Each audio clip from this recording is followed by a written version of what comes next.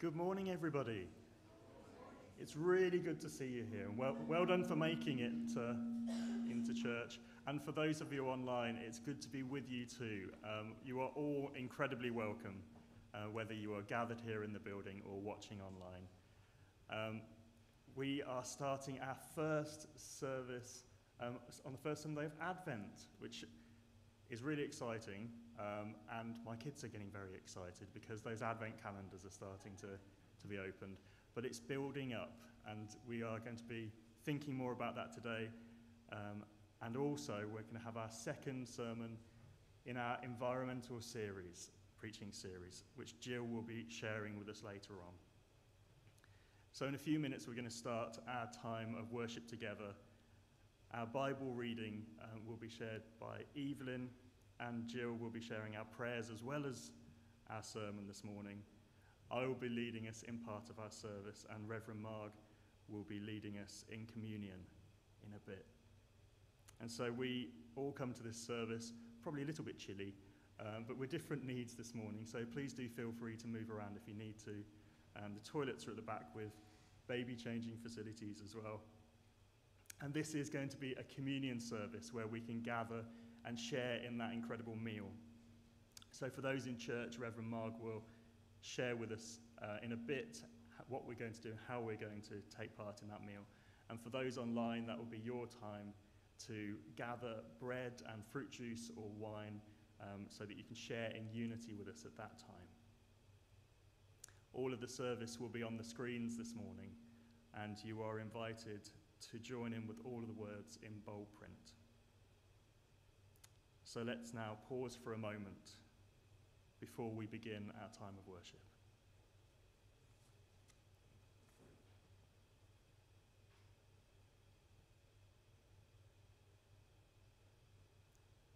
We gather together during Advent to wait for the coming Messiah. We look up to the darkness of the heavens and we see the first faint glimmer of the sunrise creeping over the horizon. The day is not yet upon us, but its dawning is announced. And today we light the first candle of Advent. And so I'm going to invite Kay to come up and light that for us.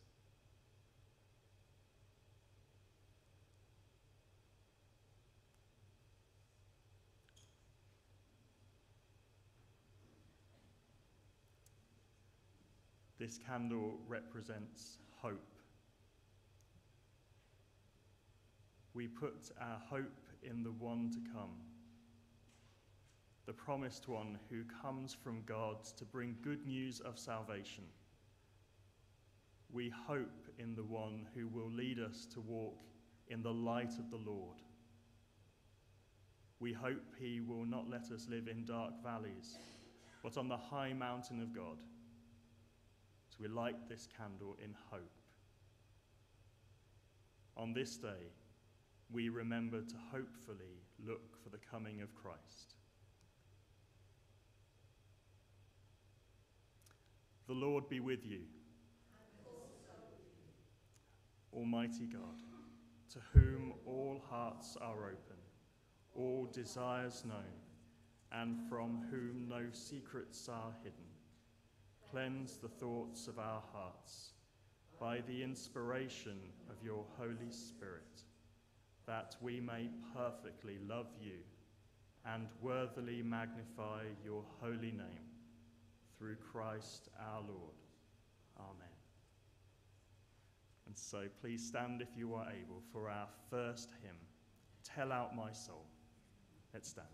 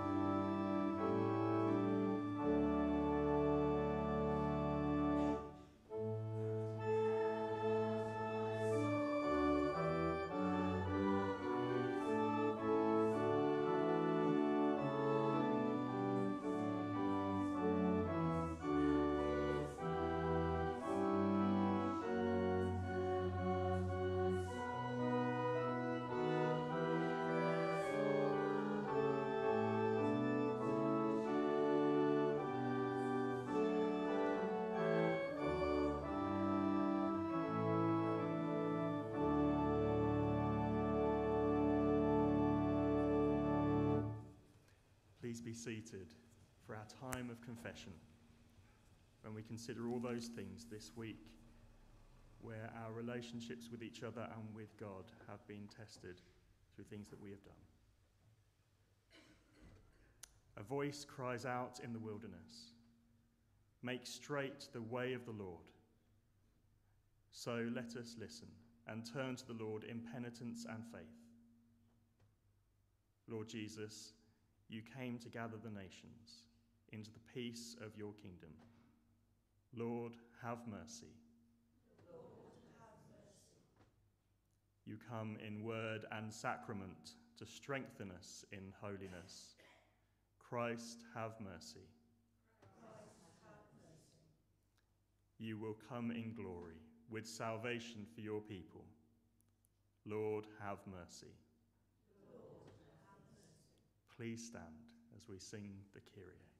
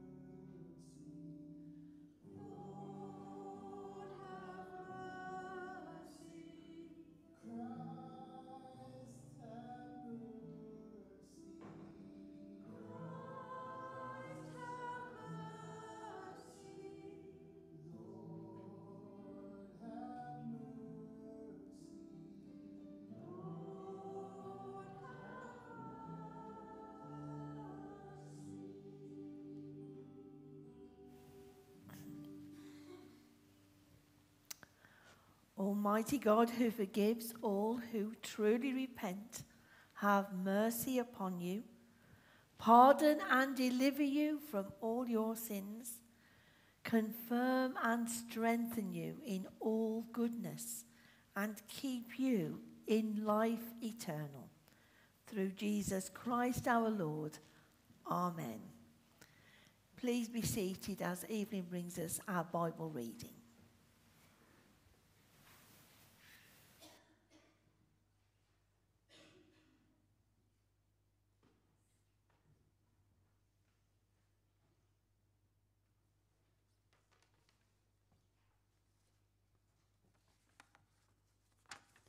reading today is Psalm 8. O Lord, our sovereign, how majestic is your name in all the earth. You have set your glory above the heavens.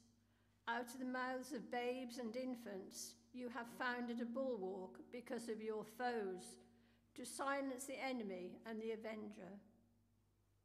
When I look at your heavens, the work of your fingers, the moon and the stars that you have established?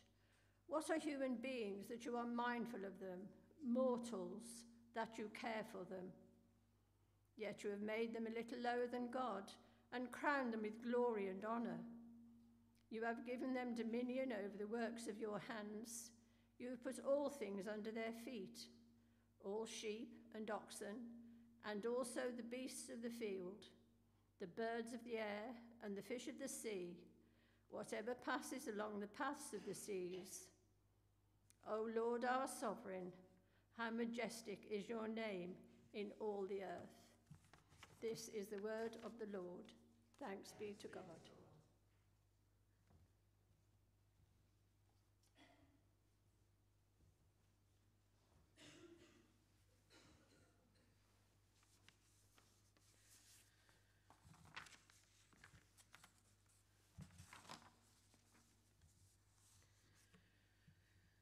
May I speak in the name of God, the Father, Son, and Holy Spirit. Amen. Today, as John said, we're continuing our series on the environment. And this, we are, this week we are looking at the particular vocation that we as humans, as beings made in the image of God, have. But today, as John said, we're also celebrating Advent Sunday. And I ought to note as well that St. Nicholas Day is in three days' time. So today we have many things to think about. When Jackie spoke last week, she encouraged us to think about what we should be doing to look after this wonderful planet that God has made. In the reading we heard last week, God said to humankind, Be fruitful and multiply, and have dominion over all living things. The reading continued that God had given us the seeds and the fruit of the trees for food. In the reading you just heard, the psalmist said, What are human beings that you are mindful of them? Mortals that you care for them. He continues, Yet you have made them a little lower than God and crowned them with glory and honour and then repeats from the Genesis reading You have given them dominion over the works of your hand. You have put all things under, your, under their feet. So I wonder what this means to you. There is one way of interpreting it, I have to say, which I don't agree with, which is that nature has no reason for existence except to serve man. I believe that God gave the human race dominion over his creation, not only be to be able to use it, but also to develop and protect it. And we know clearly if we do not do this, then God's wonderful creation will disappear. Graham Tomlin, in his book The Widening Circle, says it not just a Christian vocation to care for creation, but a deeply human one. Now, we all know we don't always do this. We often put ourselves above the needs of creation and the vocation to nurture creation. If we think about the story of, in Genesis of the temptation in the Garden of Eden, we see Adam and Eve hearing God's word but choosing not to follow it. They ate from the tree of knowledge, something that God particularly forbade them to do. They were thinking of themselves as more important than God. God had provided them with this wonderful place to live, the Garden of Eden, but they chose to forget that and just do what they wanted. I wonder if ever we do something similar. We have a wonderful God, world that God has given us to live in. But sometimes I think we forget that the world needs protecting and nurturing and take an easier way out. Now, we am sure we know being Christian is not always easy. There are different ways of looking at this. Many years ago, my ex husband and I ran a dairy farm in mid Wales. We farmed organically. We tried as much as we could to develop and protect our land. We didn't use any artificial fertilisers, and we fed our cows on feed that did not have additives. That was incredibly difficult to find. All these additives and fertilisers are used to improve the output of the land and the output of the animals and the welfare of the animals. And of course, to provide a better living for the farmer. It was not easy farming organically. It was definitely more expensive. But my ex husband felt very strongly that it was the right way to farm. This was many years ago, and I think we were a bit ahead of our time. At the time, we were criticised by our neighbours for the way we farmed, and particularly our bank manager, who thought it was not financially viable. And it ended up being right. We are reminded, particularly this week, of how the world is changing, particularly the climate, as we listen to reports of the COP28 conference in Dubai. In particular, we hear how the human race has contributed to the changes by our misuse, previously understood, misunderstood, of the Earth's resources. Of course, now this puts a big responsibility on us all, particularly us as Christians, to do whatever we can to protect our wonderful world. My sister in law, Jan, is a freelance environmental consultant, works a lot for the EEC and across the world, and would normally be at this conference She's not there this year because she hasn't been able to go. But in recent conferences, she's spoken and led seminars.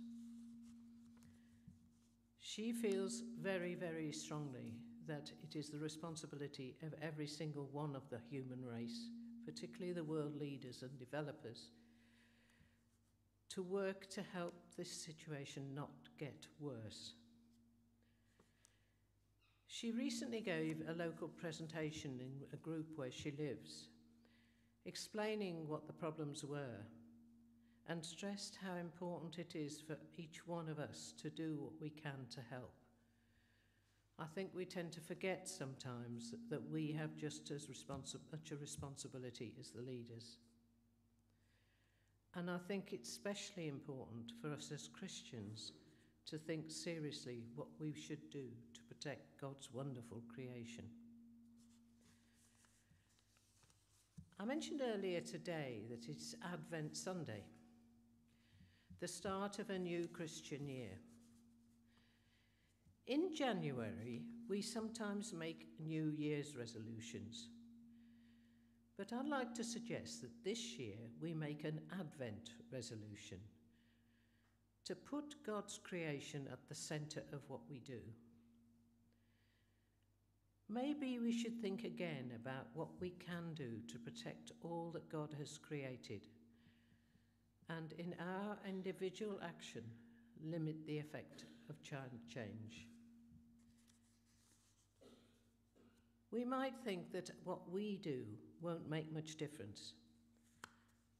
I know there are times when I don't always do the right thing. Maybe because I don't have time, or I can't be bothered, or does my effort really make a difference? But let's make it our Advent resolution to try and think again. When we're wrapping Christmas presents, should we use shiny paper because it looks prettier, but it can't be recycled? Could we just check what can be recycled? Now it's gone so cold, we just put more layers on rather than turn the heating up. And I'm sure we've all done that this week. I'm sure we can all think of lots of little things that we do, and if we all do a little bit, it will make a difference. Let's remember that the reading with her this morning told us that God made human beings a little lower than God. God did give us dominion over the works of his hands, but he did intend us to look after, develop, and protect his creation. So let us ask God to help us to do the right thing, to look after his world.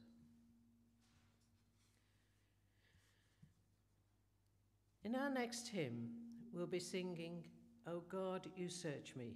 It's a beautiful hymn with lovely words and describes how God is aware of all we do, how He's always with us, and is aware of our thoughts and actions. So let's make sure we put God's priorities right. Please stand if you're able to sing, O God, you search me.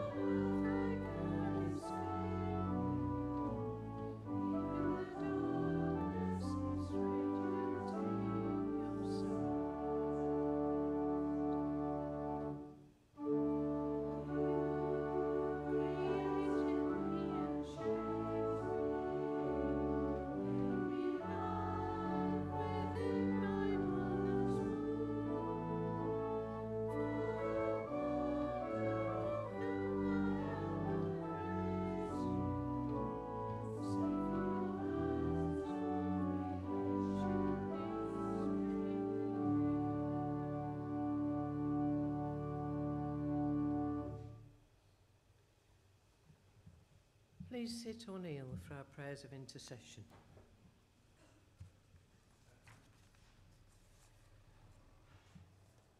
Everlasting God, as we come before you at the start of the season of Advent, we ask you to prepare us for the coming of your Son, Jesus Christ, and to hear us when we pray in faith for the needs of the Church and the world, and to thank you for your goodness. Lord, in your mercy, hear our prayer.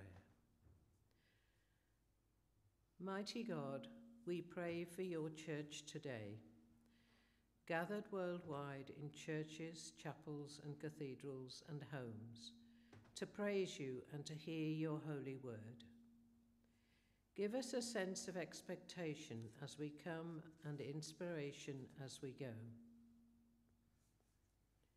We pray for your blessing on all those who lead, preach, and teach. And we pray especially for our own ministry team as they seek to do your will and guide us through our spiritual and worldly journey through Advent until the day when we celebrate together the birth of your Son on Christmas Day. Lord, in your mercy, Creator God, drive away despair from our politics. Revive our dreams of justice and truth, and restore our passion for what is good and right.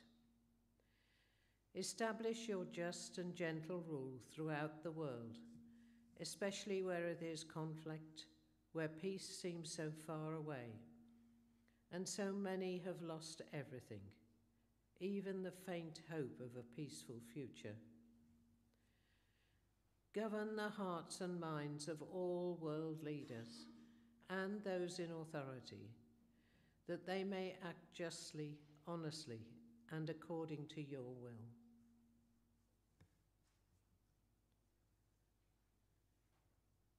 Lord, in your mercy, hear our prayer.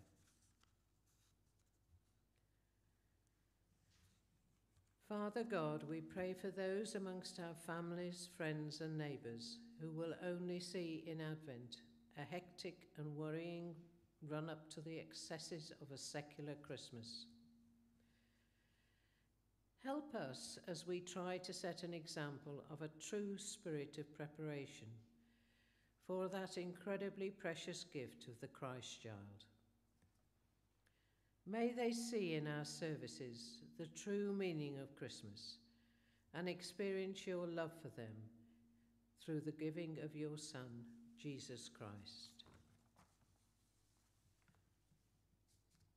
Lord, in your mercy, hear our prayer. Merciful God, we pray for those for whom this day will be long and painful for those in hospital or ill at home, those struggling with despair or depression, and for all who care for them. Comfort and heal all who suffer. Give them courage and hope in their troubles, and bring them the joy of your salvation. Lord, in your mercy, hear our prayer. Loving God, we pray for those who have recently died and for those for whom this day will be their last. Be near to all who mourn and comfort them with the knowledge that in the coming of your Son, Jesus, the gates of heaven will be opened wide for all who accept him as Lord and Saviour. Lord, in your mercy, hear our prayer. Advent, Lord, as we leave this place today, draw near to us, strengthen our faith, deepen our love for you and for our neighbours, and open our eyes to the wonder of your creation, so that when our Saviour comes, he may find our hearts ready to receive him. Merciful Father, accept these prayers for the sake of your Son, our Saviour, Jesus Christ. Amen.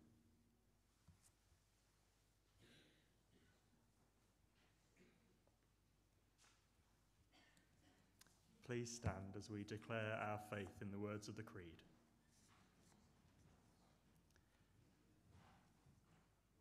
Though he was divine, he did not cling to equality with God, but made himself nothing, taking the form of a slave.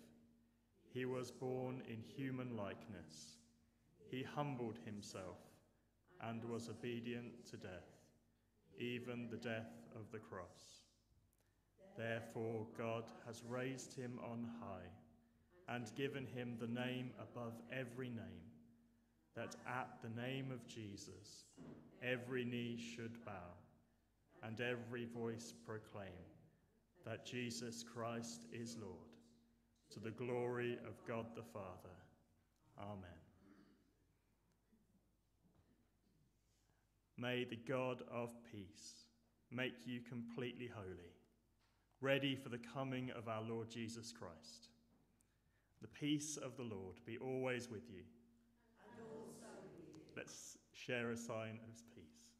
Peace be with you.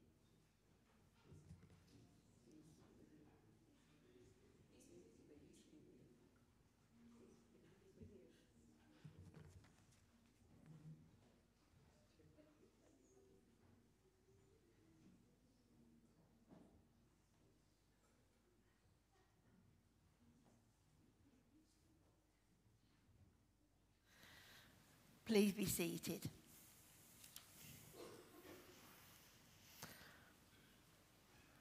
And can I just begin by reminding us all as we gather around this blessed table that there are those who are finding life very difficult, not just here at home, but uh, all over the world. Um, I've had a message this morning from the rural dean in Penkridge to say that the Hatherton Hotel has burnt down overnight. And so the refugees that were finding shelter there have now been moved to Manchester. So they've lost all of their belongings and now they've lost their connectedness with the community there. So please, can we just have a short time of silence as we pray to God that He may help them and all in trouble today to find peace.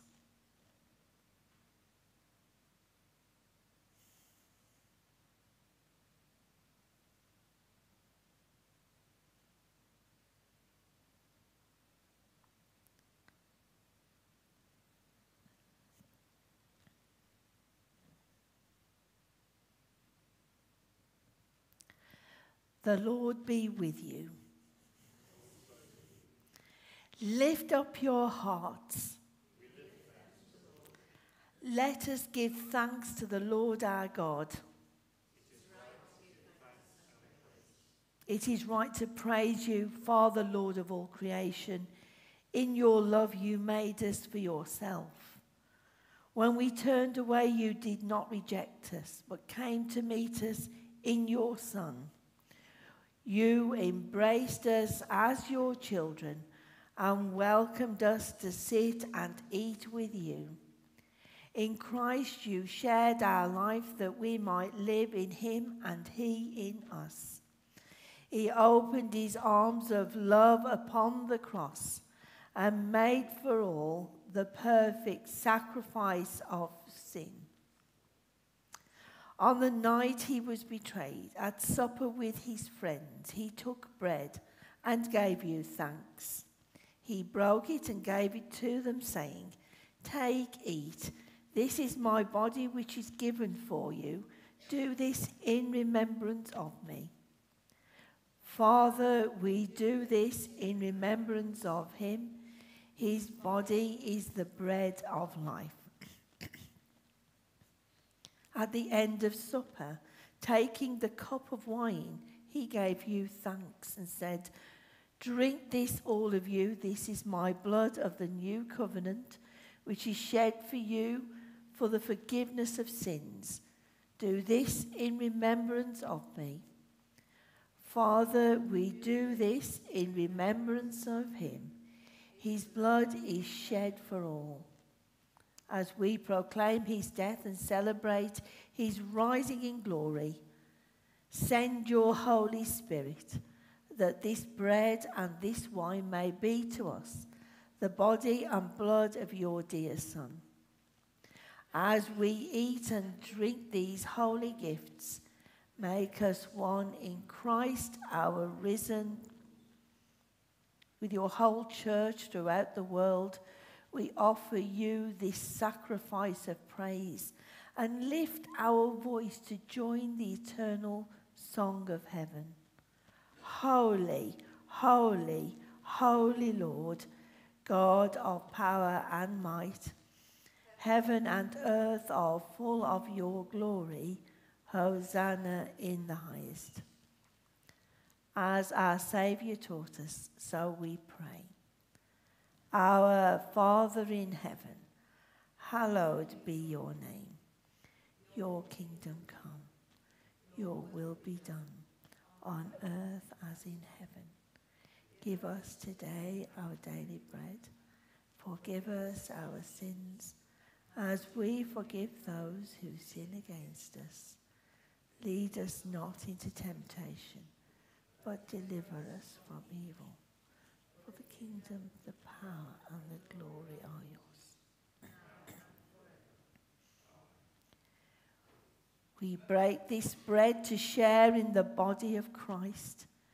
Though we are many, we are one body because we all share in one bread.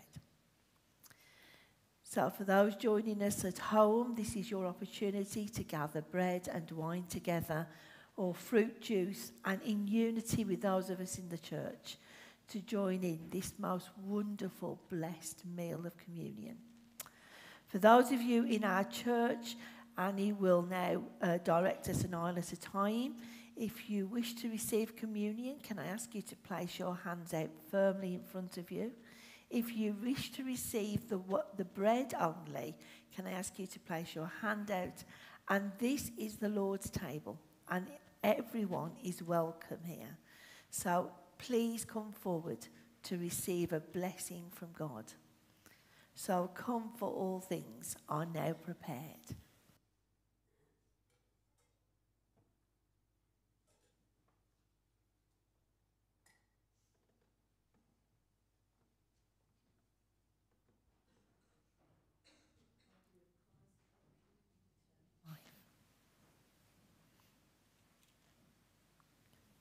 Body of Christ keep you in eternal life. The body of Christ keep you in eternal life.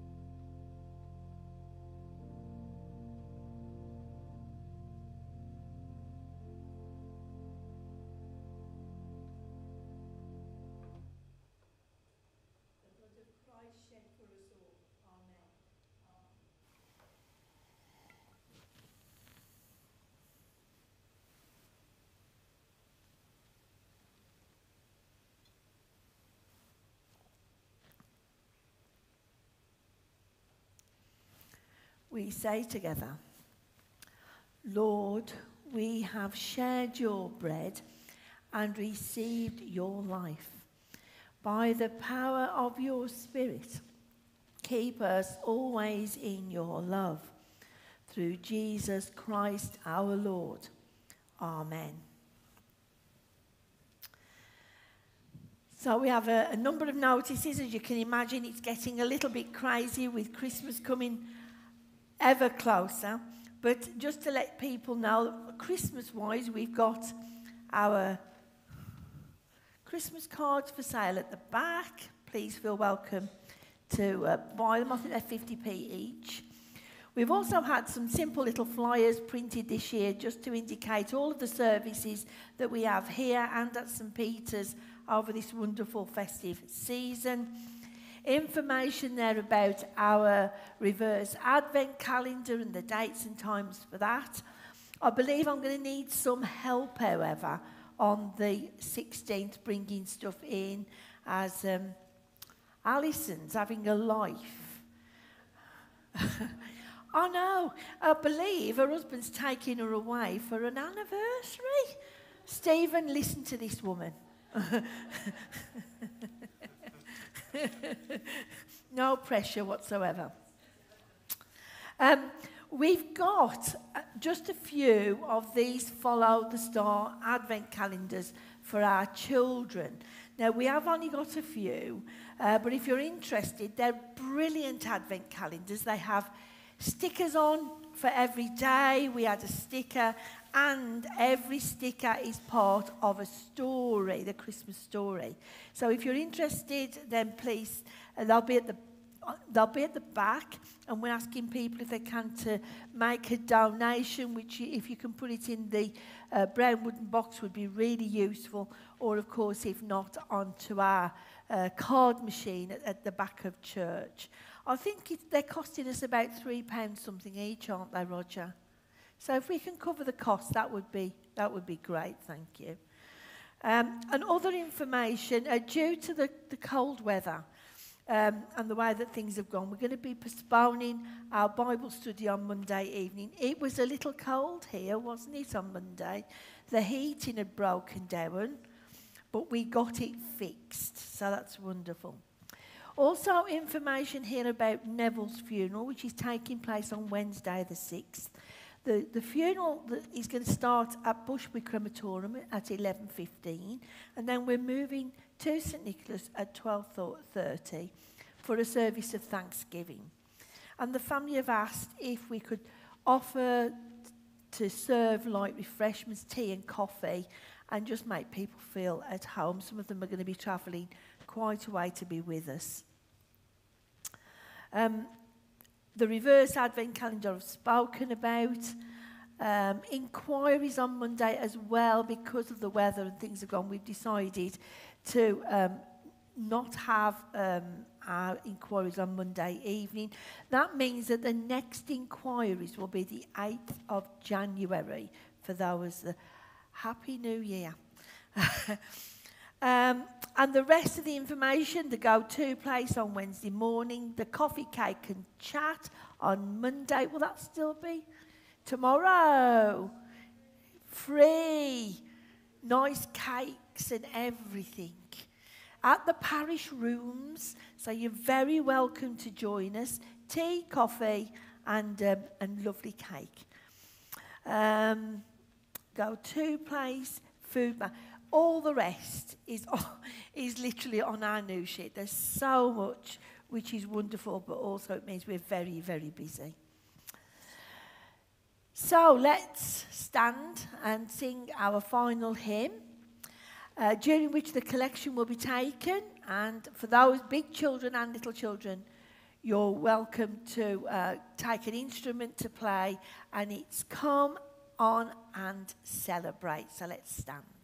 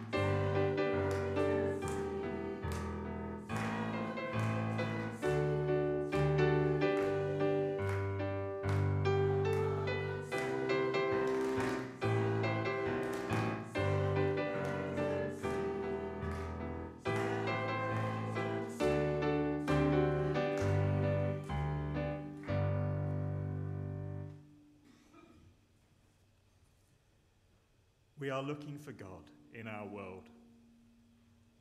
May we see what God wants us to see. We are looking for God in our lives. May we be who God wants us to be. And may God, our shepherd, protector, awakener, and Holy Spirit, bless us through these Advent days. And may the blessing of God, the Father, Son, and Holy Spirit be with us now and forevermore. Amen. Go in peace to love and serve the Lord. In the name of Christ.